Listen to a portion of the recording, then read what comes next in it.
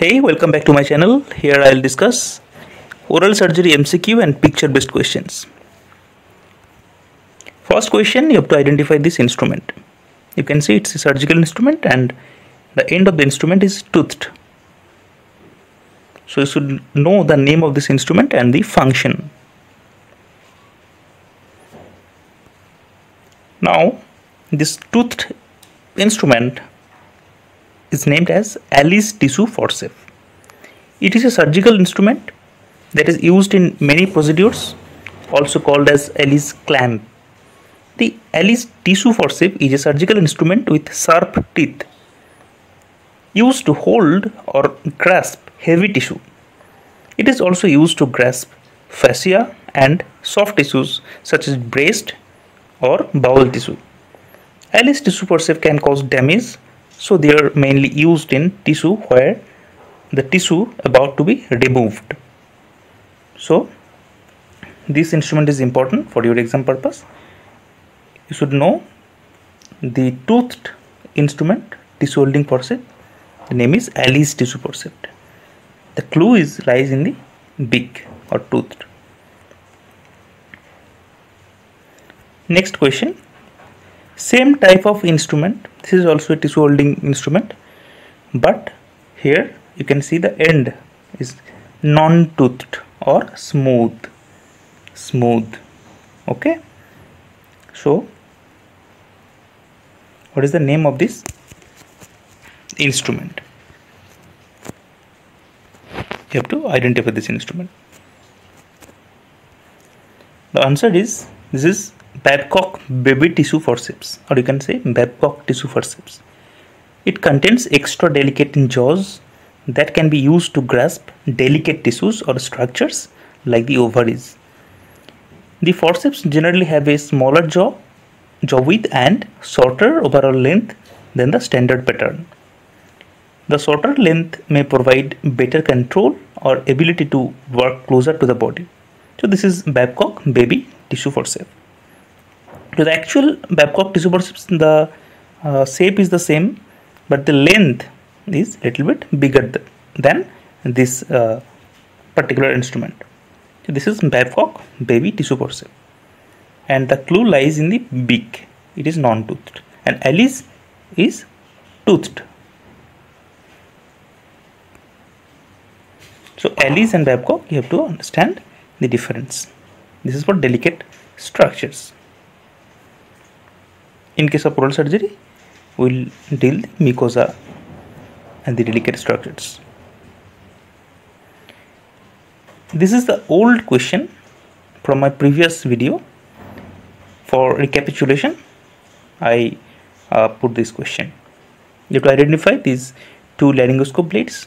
The answer is you can see the first one the straight angle the straight um, uh, blade that is Miller blade and the curved blade is Macintosh blade. So the straight one is Miller blade of laryngoscope and the second one is Macintosh blade that is curved. Next question is also recapitulation from the uh, other my video.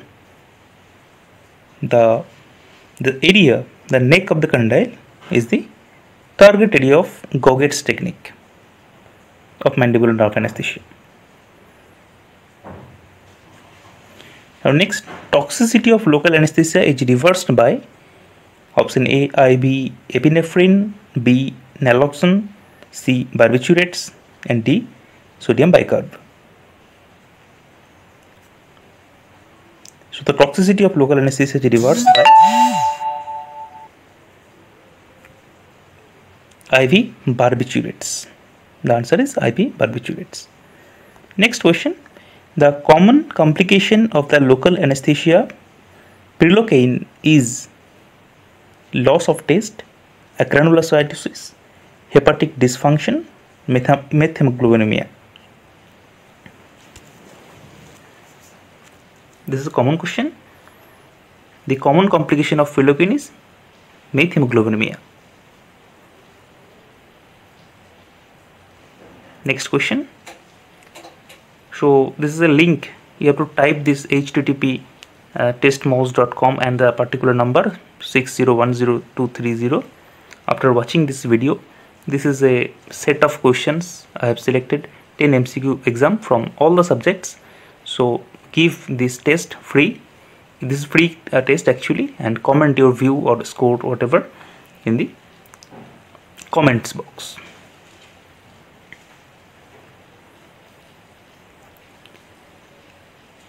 so I think you can write down or just pause this video to write down the address. This is a very interesting uh, 10 MCQs I have selected for you. So and next question. An effective hand sanitizer contains at least what percentage of alcohol to kill the coronavirus and other germs 30% 45% 60% 80% so hand sanitizer contains which percentage of alcohol? 30 45 60 80 answer is 60% next question. Staying apart from other people when you have been exposed to the coronavirus is called physical distancing isolation quarantine. Some questions i have selected from the coronavirus topic not related to oral surgery but i think these are also important. You should know. So here the point is the main focus is that the patient or wh whoever is not diagnosed as a he or she is not diagnosed as a coronavirus patient. He or she just exposed to coronavirus. And what type of uh, thing you can do with him or uh, what is recommendation? Physical distancing what is physical distancing? What is isolation? What is quarantine? You have to know. So in case of exposed people quarantine is the answer. Quarantine is the answer. So you have to understand the difference between quarantine and isolation. A person who has been exposed to an infectious illness might be under quarantine to wait and see if they will become sick.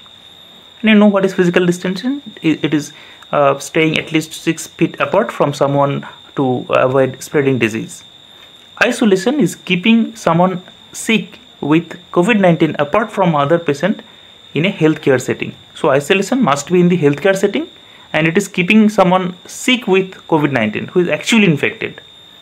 For those, it is isolation and it should be in healthcare setting. So this is the difference between quarantine and isolation. Now home task. What is MedAjet? This is home task and uh, you, you should comment what is MedAjet in comment box. Thank you very much for patience listening this small video. We'll see you next video. Thank you.